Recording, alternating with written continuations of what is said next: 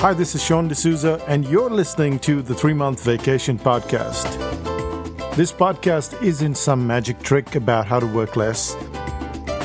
Instead, it's about how to really enjoy the work that you do and to enjoy your vacation time.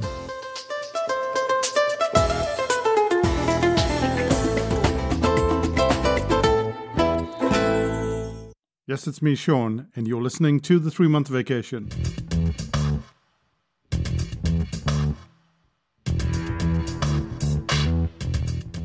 There's a free car charger near my house, and often I go there and I'm around for at least half an hour to 45 minutes at a time. I'm usually doing my diary, which is I keep an update of everything I do every day. But on this morning, I was distracted because there were two people with lawn mowers. It wasn't anyone's lawn, it was just public property. What were these two people doing, practicing lawn mowing? They went back and forth. There seemed to be some instructions.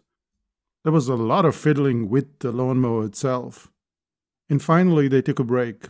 So I went up to them and asked them what they were doing. The older guy turned to me and said, We're a franchise, and I'm teaching this other person how to mow the lawn. At which I chuckled and asked, Why would anybody need to learn how to mow a lawn? It seems pretty straightforward enough. And he looked at me and without blinking said, Anybody can mow a lawn. But when you have a dozen lawns to mow in a day, you have to be very good at it. You have to be fluent. Fluency is the topic that we're going to cover today. And I say that tongue in cheek because fluency is such a huge topic. But we'll cover three points, and you'll see that it's not as weird as you think it is. It's not as big as you think it is, not as difficult as you think it is. Fluency is based on a few concepts. The first, what would cause an average person to believe that you're fluent? The second, what instruction or instructions would you need to get to that level of fluency? And finally, what could you safely leave out and get almost the same results as someone who put in a lot more time? So let's get to the first point, which is what would cause an average person to believe that you're fluent?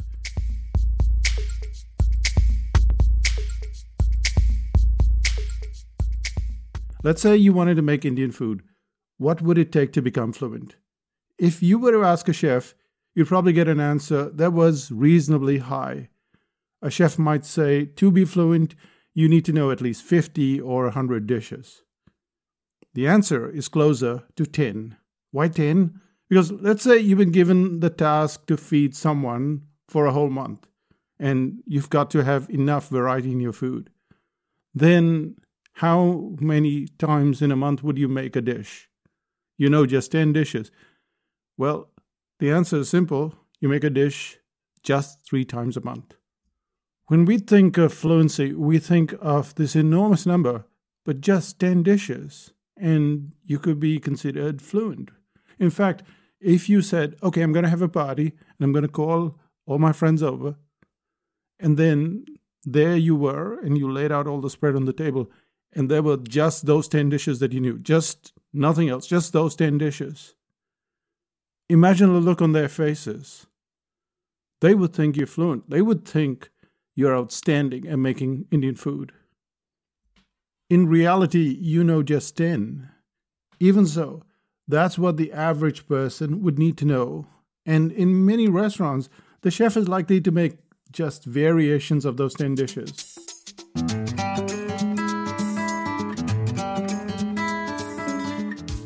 And at this point, it's important to bring in a scale. If you look at a scale from left to right, what we'll see is the first stage, which is hopeless. You're completely hopeless. You can't do anything.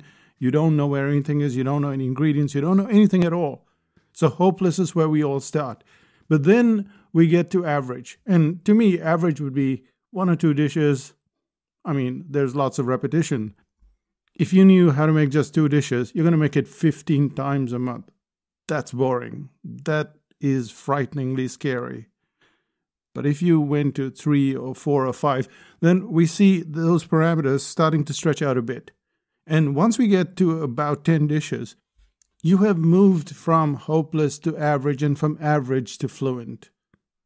You may not think you're fluent. This is where all the imposter syndrome comes in. But for the outside world, that's what's needed. They just need to see you as fluent, they need to treat you as fluent, and automatically you start to see yourself. After a while, it takes a while, but you start to see yourself as not hopeless and not average, which means you have nowhere to go but fluent. With food, it's about 10 dishes. With dancing, it's about three or four moves. I don't play any instrument, but I've been told that knowing just three chords, you could play dozens of songs.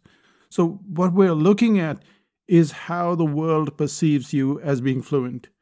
And you have to ask yourself, Am I hopeless? Well, we have to get you from hopeless to average, and then from average to fluent. But what's the difference between you and, say, the top of the line? If you were to compare yourself with someone who's been a chef for 15 years, 20 years, and been cooking in commercial kitchens or in a hotel, has been making dozens or hundreds of dishes.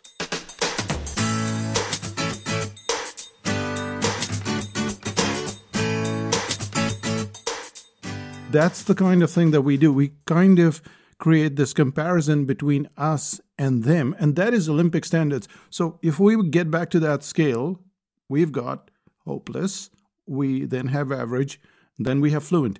And they kind of bunch up. They're like Mercury, Venus, Earth. And that's where we are at fluency. And then when we look at those chefs, well, they're like Jupiter or Pluto. They're very far away. And it's not like this solar system that you've been used to where everything goes around in concentric circles and everything looks exactly the same in terms of distance. No, we have our Mercury, which is our hopeless, and then we have Venus, which is our average, and then finally we have Earth, and that's fluent, and that's the place to be. That's the kind of situation you want to be in, because if you know just that much, then a lot of people see you as fluent and you start to become fluent because they see you as fluent and because you have control over at least what it needs to get going. Most of us never want to, never need to reach Olympic standards. We just don't because Olympic standards requires you to put in six, seven, eight hours in the kitchen, six, seven, eight hours in the pool every day of your life. And that's Olympic standards. That's why they have a coach. That's why they have that training. That's why they have all of that rigor. We don't want to do that. We want to go out. We want to have coffee. We want to be with our friends. We want to spend time with our kids. We don't want to go to Olympic standards in most cases. So, fluency will enable you to get to a lot of places very quickly. I draw cartoons, I do watercolors, I teach courses, I do podcasts, I can keep on with this list. I added photography to the list. And yes, I can keep blowing my own trumpet, but the point here is that you can get to fluency in a lot of aspects in your life without having to get to Olympic standards.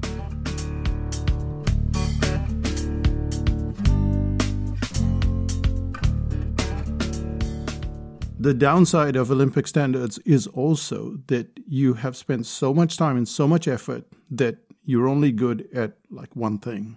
You might be good at two, but at the fluency level, you could be good at a dozen things.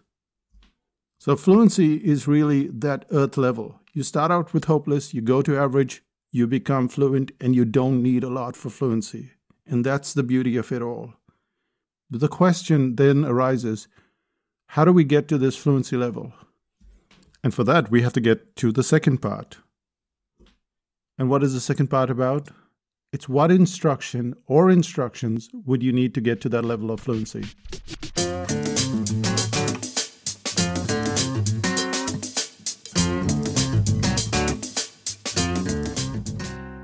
Yesterday, I got a message on Instagram. There was this woman in Utah who is a photographer. She has the same camera as I do, and she has bought a lot of profiles and presets, which is the stuff that you get when you're working with software in photography in Lightroom. And she wanted to replicate the stuff that I'm doing. She'd bought a lot of the stuff and it wasn't working for her. So she reached out to me and asked me, How do I do this? Can you help me? Can you do a course? And I said to her, You don't need a course. You probably need half an hour or an hour on Zoom, and that's it. And she was like, Sign me up, get me there. And to her, what it sounded like, what it sounded like that I was saying was that I was going to give her a fixed set of instructions or an instruction and she could manage by herself. She could then produce pictures that had all of this depth, all of the blacks and the whites and the grays and all of this shadows and detail that she was missing out with the other pictures and with all these templates that she had. Hence, when you look at getting to fluency, you don't need a book, you don't need a course. Usually, you need an instruction or a set of instructions. Now, when we go back to Indian food, there is an elaborate dish called biryani. If you haven't eaten, please go out there and eat it. But there are different types of biryanis. There's what is called a mutton biryani and a chicken biryani. There's also a vegetable biryani. There are dozens of biryanis the problem starts to manifest itself when you try to make one at home. Now, you can get a powder and you can just take some rice and just chuck the powder as if you're making noodles and then mix it, and it kind of tastes okay, but it doesn't taste anywhere close to what you'd get if it were in the hands of a good chef, in the hands of someone who knows how to make a biryani. Which is why, if you started to make a biryani this weekend, you'd probably fail or at least be dissatisfied because biryani is a lot more complex than a lot of Indian dishes.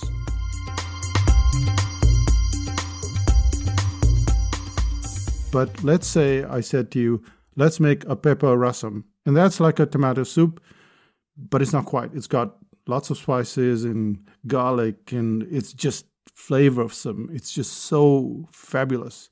Anyone who has it thinks, wow, I need to have more of this pepper rasam. But here's the thing both of the dishes are quite tasty, uh, nutritious, and yet one is really simple to make. And how do I know? Because a friend of mine had some of the stuff that I made, and she said, Well, I would like to make it myself. What I did was I just put all the ingredients together, put them in a little plastic bag, and gave her the instructions. She replicated it without any problem. Hence, if you were to take 10 dishes like this that were tasty, flavorsome, healthy, everything, if you ticked all the boxes of good food, good Indian food, well, you can make 10 dishes with very few instructions. The problem that we have is the same problem that that photographer in Utah had, which is that she's bordering between hopeless and average. Not in photography, she's a good photographer, but when she's trying to produce, post produce these photographs, she can't get to that level of fluency. And so we just need those instructions. And the problem is, we don't have such an understanding of what's needed and what's not, which is why we have to find a teacher who has the ability to reduce the number of instructions. And we don't. So we have to put in an endless number of hours searching and learning and trying to get to that level of fluency. And what we're really missing is just one instruction. Because usually one instruction gets you further down the track, and then another instruction further down. And what you're doing is you're moving very quickly with that instruction.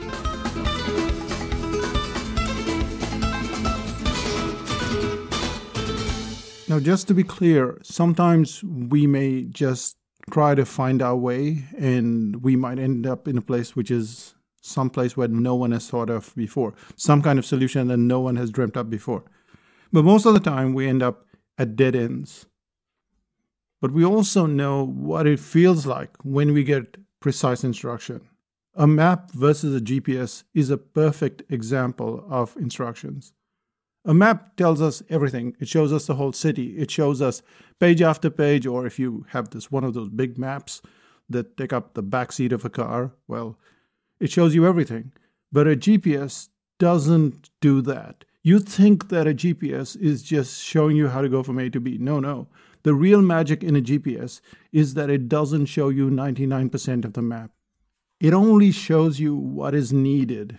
The instruction is so small that you can cross an entire continent just by going left or right when you're taking a land route with a GPS. And that's what you call elegance. However, people deride that level of elegance. They call it simplicity.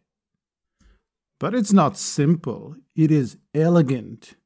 If you can't draw a perspective and five seconds later you can draw it, you don't have simplicity, you have elegance. You have precise instruction that lets you do what others take weeks or months or sometimes never achieve. The problem is based on instructions, or rather, instruction.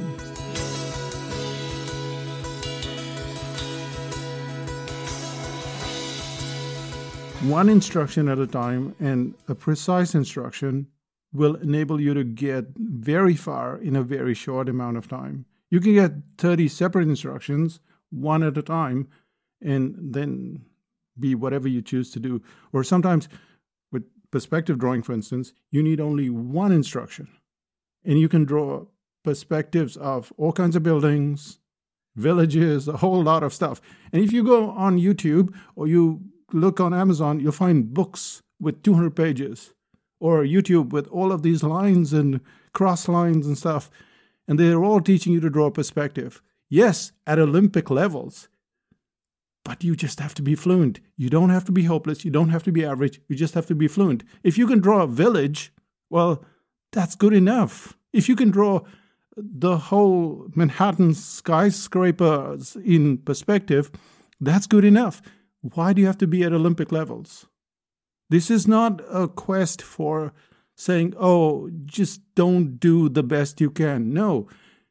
What I'm saying is that we all want to have a life. We all want to be really good at stuff. We don't want to be hopeless and we don't want to be average. We want to be really fluent at stuff. And this is the way to do it, where you don't go right to the Olympic levels unless you want to. But then you have to put in the six, eight hours a day. You have to get a coach. You have to have all of the stuff that Olympic athletes have. And then you can get there. But if you want to be fluent in six or eight or even more aspects of life, then this is the way to go to get precise instructions. And of course, this takes us to our third part, which is the flip side of instruction, which is what instruction not to get or what to avoid.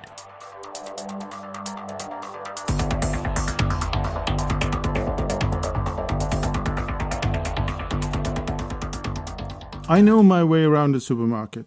So if you ask me, go and get some milk, some bread, some vegetables, or a precise kind of vegetable, I know where to find it, but only in my supermarket. If I come to your supermarket, I'm going to waste an enormous amount of time. That's because supermarkets have similar layouts because they try to get you down a certain aisle and try to do certain things. But I am still going to be lost. And you're going to be lost if you come to my supermarket.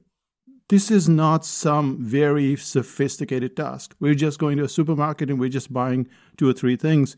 But one person can do it in 30 seconds, and the other one is going to take five minutes or 10 minutes, or even not be able to get to where they want to go without help.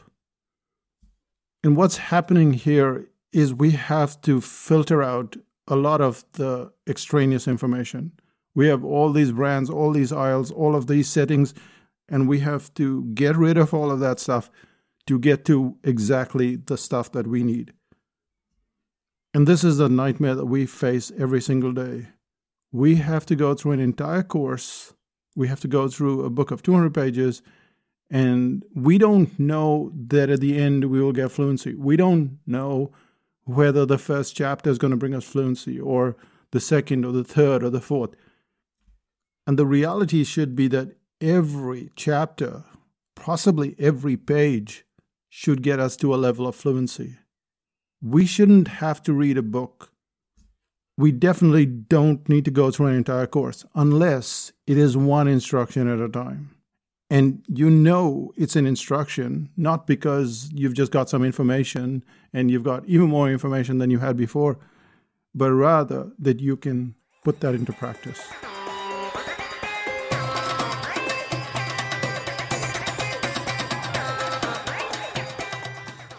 That's how you know that the instruction was very precise.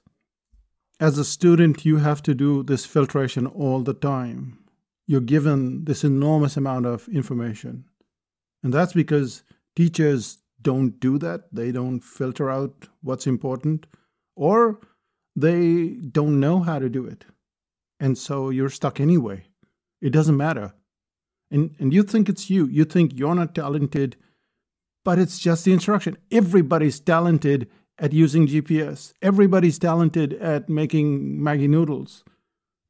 People go around saying, oh, that's simple. No, it's elegant.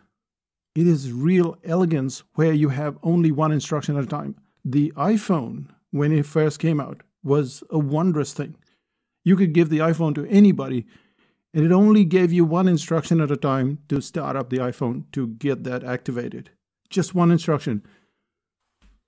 And this brings us towards the end of this podcast, where we realize that fluency isn't about learning, it's very much the opposite. It's about knowing what to ignore. Most parents, most teachers, they don't know how to perform this magic trick. They don't know how to ignore stuff. So they give you the entire lecture, the entire sermon, everything that they know. And that is why we have to practice, practice, practice, because that's what's happening really in practice. We are filtering through stuff. We're trying to find what would get us to the end point quickly, but we don't know the answer, and they don't know the answer. And so we just flail around trying to get to that point. What we need is a GPS. It tells us where to go, one instruction at a time, but it also hides 99% of that instruction, 99% of the map. And that is how you get fluent. That is how you go from hopeless to average, which is not a big jump, and then from average to fluent. And everybody says, Wow, you're so talented and you just smile.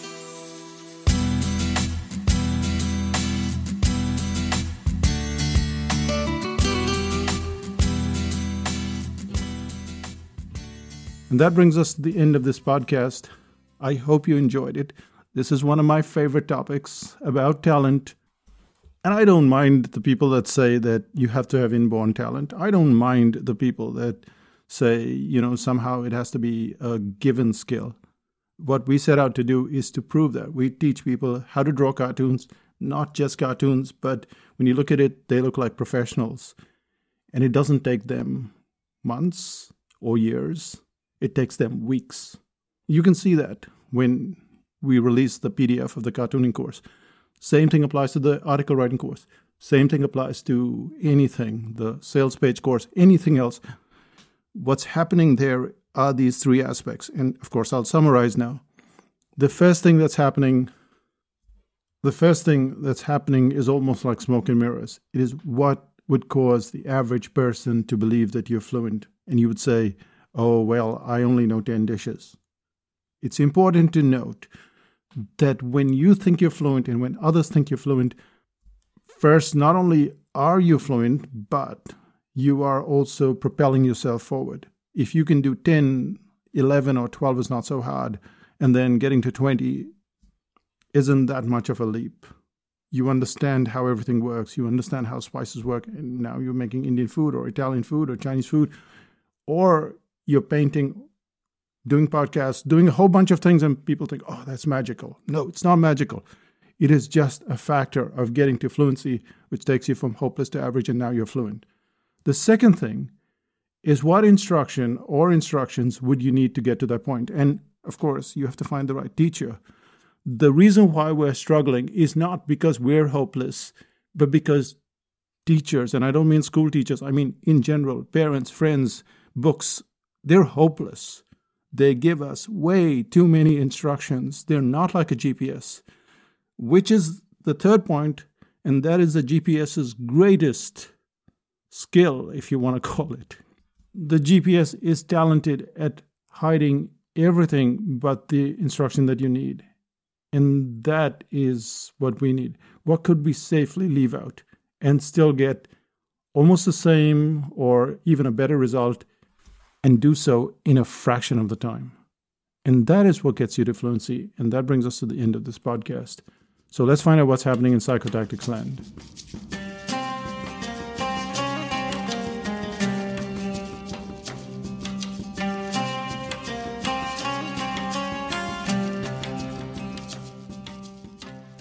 There is nothing happening. It's the last six weeks of the year, and well, there are no courses and stuff. We're just winding down.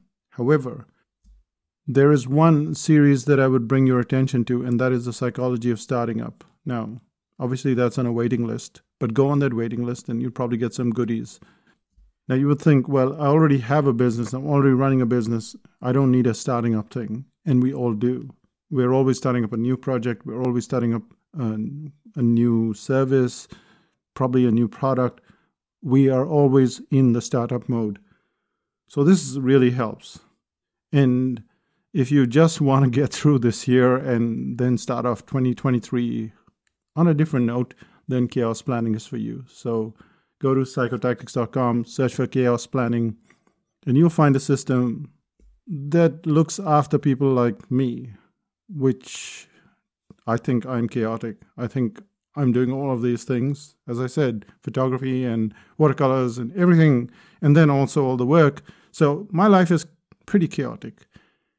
And yet there is a system which enables me to do all of this stuff. And I think you'll find that in chaos planning. So that brings us to the end of this podcast. I thought it would be just five or seven minutes, and now we're on 25 or 26 minutes. So I'll say bye for now. Bye bye.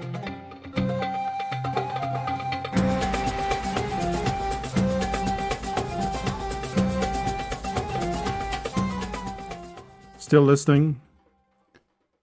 If it's 2:30 in the afternoon, what time will my neighbor finish mowing her lawn?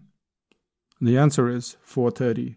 Remember at the top of this podcast we talked about how this guy was teaching the other guy how to mow the lawn? Well, my neighbor, she could get some lessons in it. And this is not the immediate neighbors on our side of the street, but across the street.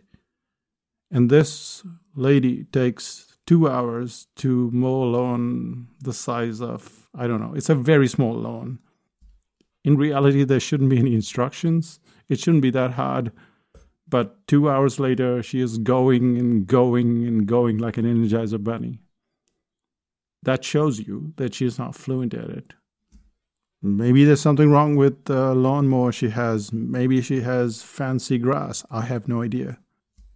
I don't expect her to be at Olympic levels but surely she can go above hopeless, at least to average. That'll do for me. Average lawn mowing. That's good enough for the neighborhood. I'll say bye for now. Bye bye.